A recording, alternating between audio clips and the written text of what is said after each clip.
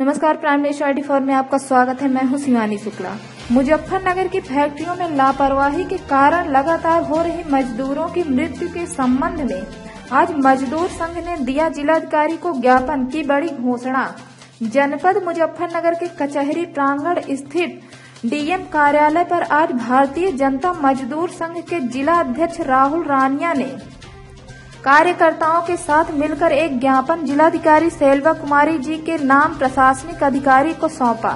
जिला अध्यक्ष राहुल रानिया ने बताया कि मुजफ्फरनगर में पेपर मिलों एवं अन्य फैक्ट्रियों द्वारा मजदूरों की सुरक्षा की अनदेखी की जा रही है। जिस कारण आए दिन मिलों में मजदूरों की मौत को हो रही है, विगत दिवस भी एक मजदूर की मौत सिल्वर टोन पेपर मिल में सुरक्षा न होने के कारण हो गई। जबकि कुछ दिनों पूर्व भी इसी मिल में एक मजदूर की मौत हो चुकी है। वहीं यूपी स्टील में व अन्य मुजफ्फरनगर की कई मिलों में श्रमिक की मृत्यु हो चुकी है। सभी मिलों में सुरक्षा की घोर अनदेखी हो रही है, जिस कारण आए दिन हादसों के कारण मजदूरों की जान माल की क्षति पहुँच रही है। लगभग सभी फैक्ट्री द्वारा अपने अपने मजदूरों को किसी भी प्रकार की सुरक्षा नहीं दी जा रही है। सभी मजदूरों से 10 से 12 घंटे तक का काम मालिकों द्वारा लिया जाता है और वहीं सरकार द्वारा घोषित न्यूनतम वेतन भी नहीं दिया जाता श्रम विभाग व फैक्ट्री इंस्पेक्टर भी इस विषय में कोई कार्यवाही करता नहीं दिख रहा है जिला अध्यक्ष राहुल रानिया ने जिलाधिकारी सेल्वा कुमारी जी से ज्ञापन से अनुरोध किया कि इन मामलों की जाँच कराकर मजदूरों की सुरक्षा के पुख्ता इंतज़ाम फैक्ट्री मालिकों द्वारा कराए जाएँ। अन्यथा भारतीय जनता मजदूर संघ मजबूर होकर स्वयं की ही फैक्ट्रियों का निरीक्षण कर फैक्ट्रियों में मजदूरों द्वारा धरना प्रदर्शन करने पर मजबूर हो जाएगा। विशाल प्रजापति पवन मुजफ्फरनगर की रिपोर्ट। आपका नाम? मेरा नाम राहुल रानिया भारतीय जनता मजदूर संघ से जिला अध्यक्ष। क्या मामला है जो मामला ये है कि हमने आज जिलाधिकारी महोदय को एक ज्ञापन सौंप रहे हैं मजदूरों के हित में। निवेदन ये है कि हमारा मुजफ्फरनगर पेपर मिलो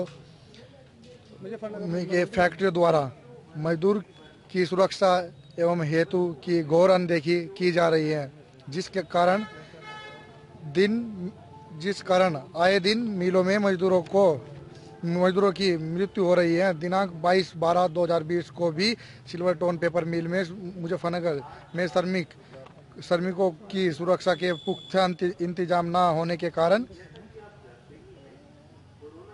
एक मजदूर की मृत्यु हो गई थी जबकि कुछ। क्या चाहते हैं? जो मजदूरों की मौत फैक्ट्रियों में हो रही है जी जी। तो आप लोगों की क्या मांग है?